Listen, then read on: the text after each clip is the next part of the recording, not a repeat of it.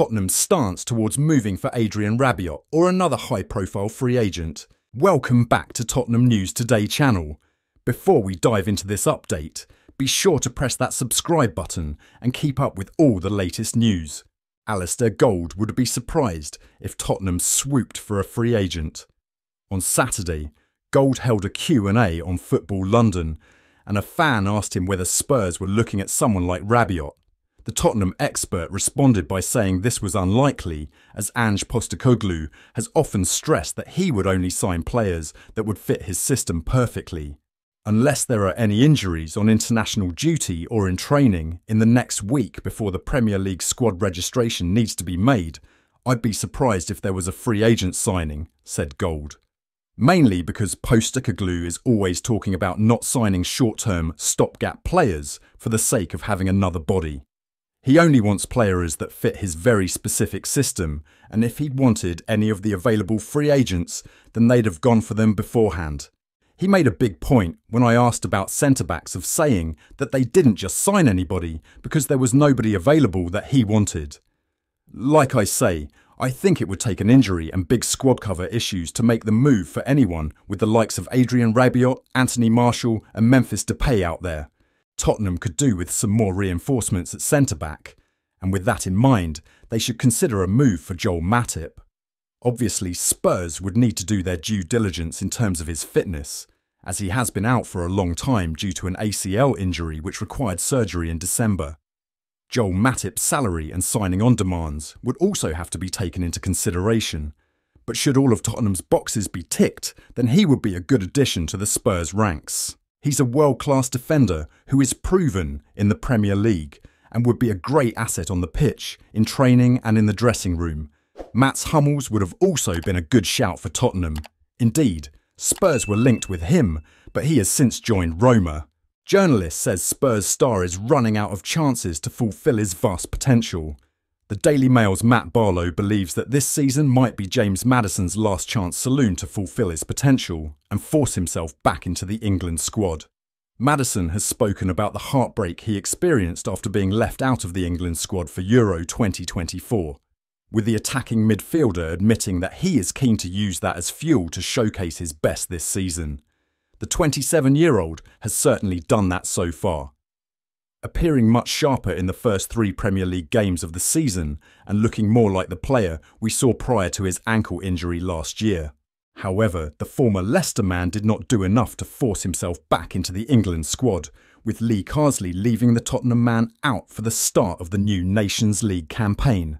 Given the players that Maddison is now competing with, Barlow feels that it is now or never for the midfielder to step up and show that he belongs at the top table. The journalist wrote, Maddison, though, was not in the frame when Carsley selected his first England squad. Three months after missing the final cut for Euro 2024 under Gareth Southgate, Tottenham's playmaker was overlooked again.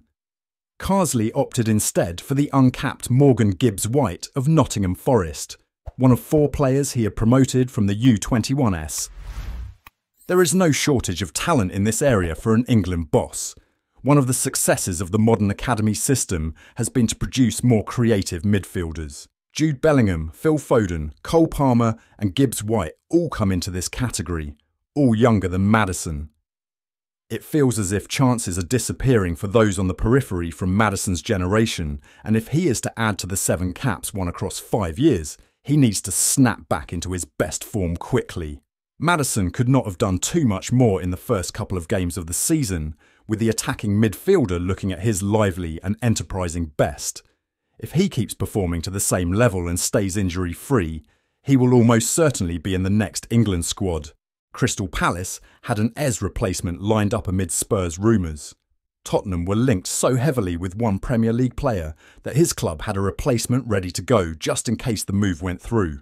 Of the many names suggested as Tottenham transfer targets over the summer, Eberechi Eze was perhaps the strongest link of them all. The playmaker was earmarked as the kind of player Spurs needed.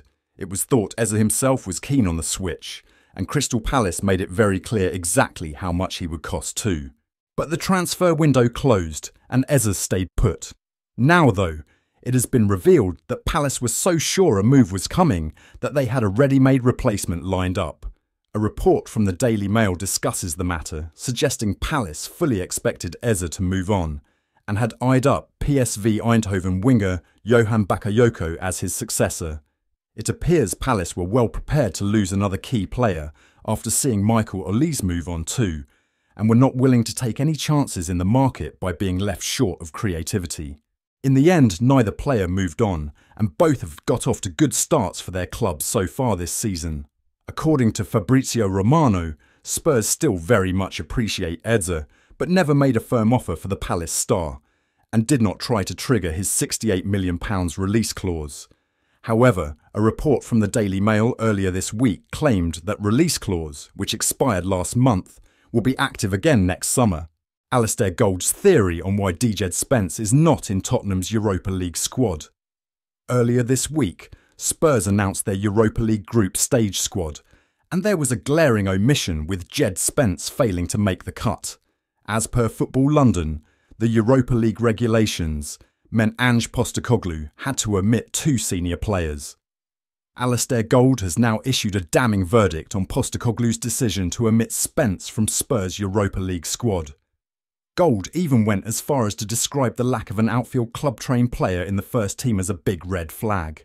Gold wrote, Spence has done really well this summer and impressed everyone inside the club, including Postecoglou. I think he's just been really unfortunate in that the squad choice would suggest the Spurs boss does not trust his backup goalkeeper options enough to leave out the experienced Fraser Forster. That means Spence was the odd man out. It's a very risky decision because it leaves the defensive cover very light for the group stages. Romero is suspended for the first game against Qarabag and an injury or two more, and there's going to be some problems. Spence was able to cover both right and left back spots. How the 24 year old will react is going to be interesting. He's come on in two of the first three Premier League games and will likely play in the Carabao Cup, so he should still get game time. It's just a massive shame because he would have played a lot in Europe. Overall, it's a big red flag against the squad management Spurs have overlooked in recent years, with not a single outfield club trained player in the first team now. They have made moves to change that, but it's been a problem they should have sorted a long time ago. It wasn't that long ago that Spence was being talked about as a potential departure from Spurs, but he has worked so hard to get back in contention. The outcome of this is that he remains at the club and is in line for more minutes. But leaving him out of the Europa League squad will have been a bitter pill to swallow.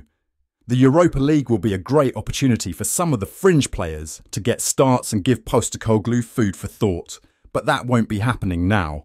That's all for today's update. If you enjoyed the video and want to stay in the loop with all things Tottenham, make sure to hit that subscribe button and ring the bell for notifications on our latest content. Don't forget to like this video and share it with fellow Spurs supporters. Let's grow our Tottenham News Today community together. Thanks for watching, and as always, come on you Spurs.